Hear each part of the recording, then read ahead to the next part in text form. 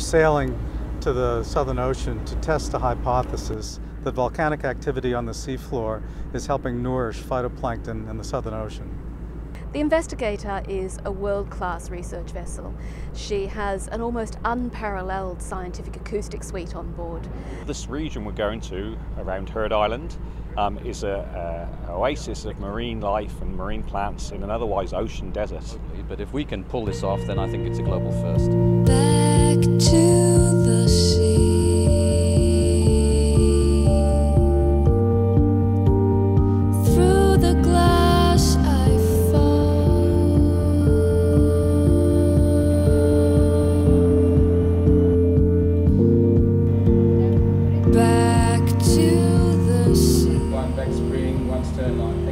Absolutely, this is wonderful. Off we go. Very exciting day. Just gonna go find some volcanoes. This is really cool. Great, but it's always a tradition to go see the gangplank go up because then you're not getting off.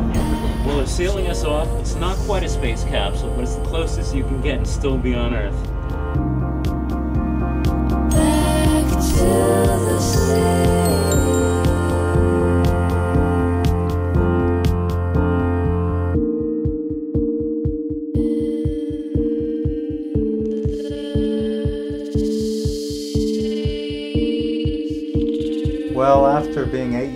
Planning phases and competing for ship time, I think there's a high degree of anticipation and excitement about finally setting off to do this work. Our mission to explore the floor of the ocean, a world more mysterious than the surface of the moon.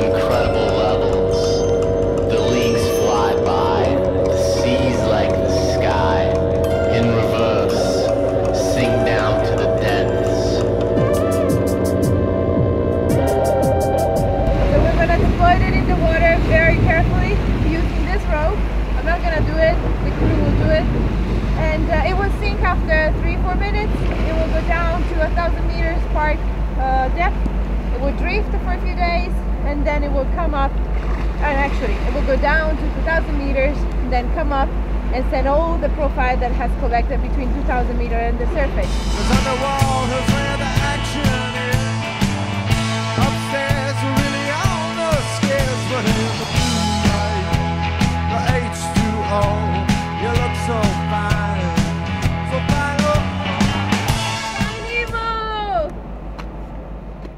Uh, we've just seen some anomalies on the multi-beam sonar and also on the single-beam split uh, sonar that suggests that there's bubbles or some anomalously warm water coming out of the seafloor. So we're now going back to take a second look at a right angle to the original track over the seafloor that was emanating these, whatever it's emanating, bubbles or fluids.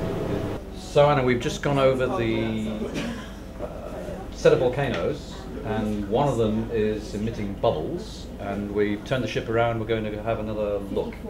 So, seen one, seen them all.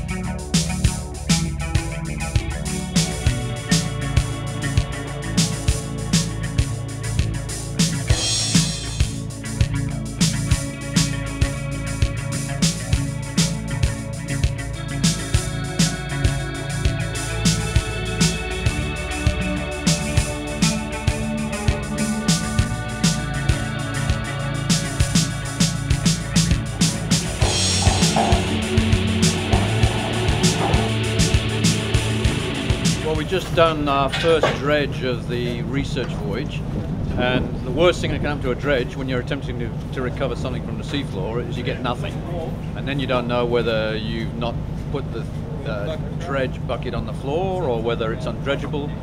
But uh, we've got some gravel, which we knew was there around the uh, little mound, and we've got some rocks, and so that's a positive result. We're happy with that. Mission completed for this particular site, and we're going to move on. Numerous small pieces of aphyric basalt. Some somewhat altered. Diamonds?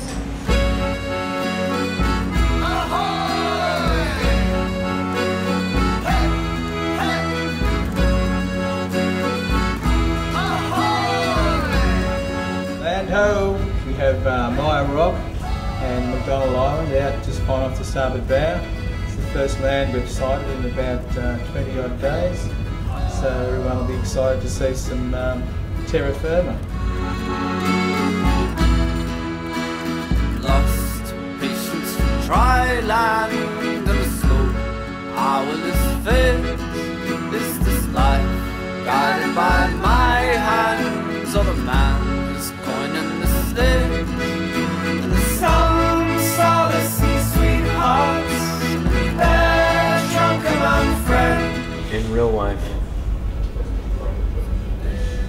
terribly exciting, wouldn't it?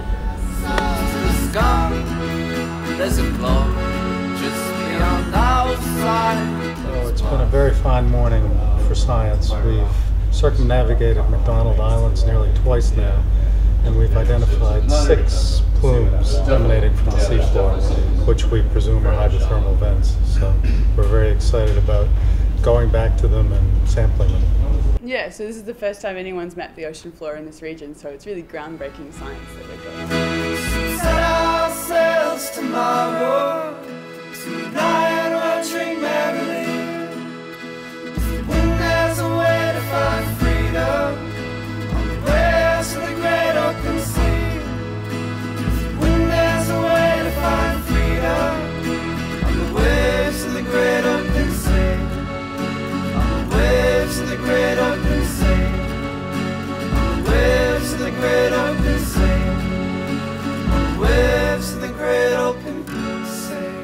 These are some really nice volcanic rocks that have been washed out from uh, McDonald Island.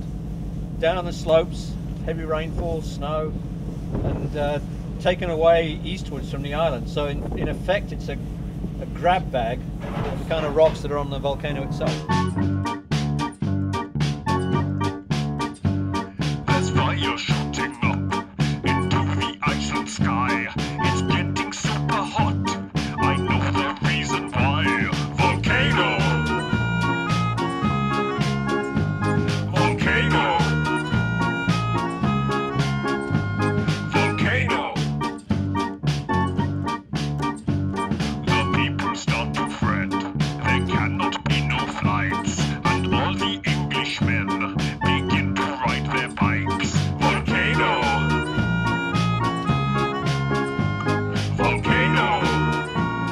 People have come down for three months and seen the top of the mountain once in that time period. We've seen it four times now in the last three days.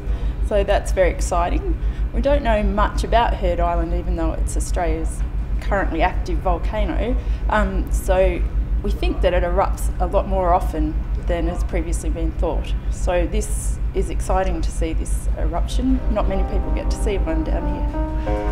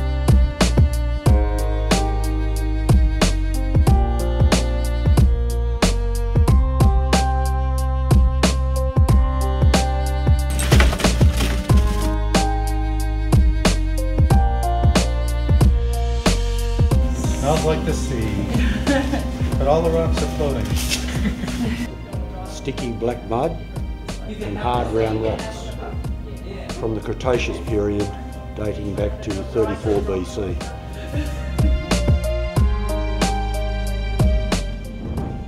I think we found some very different things, and that's always good in science when you find things that you didn't expect.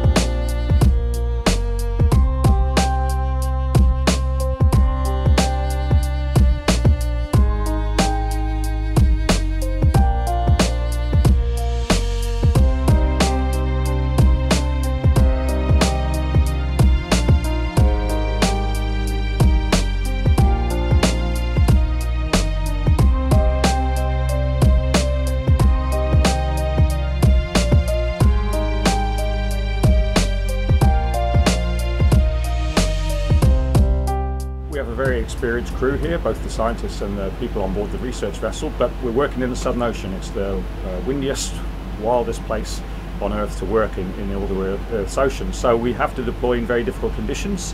Um, the ship's able to hold its course in 30 and 35 knot winds, um, but we have to be very careful when we deploy the system so we, the rosette doesn't swing and hit the ship, and we try to keep a straight wire angle at all times.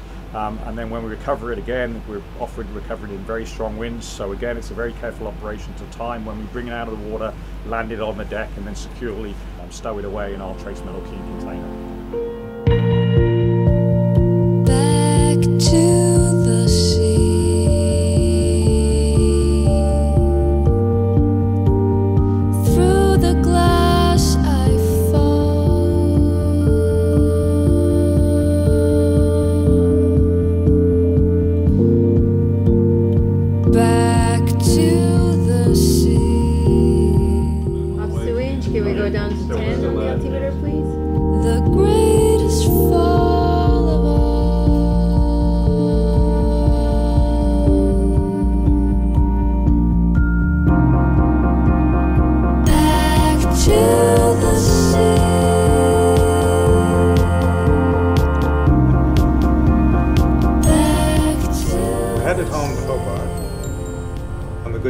Investigator.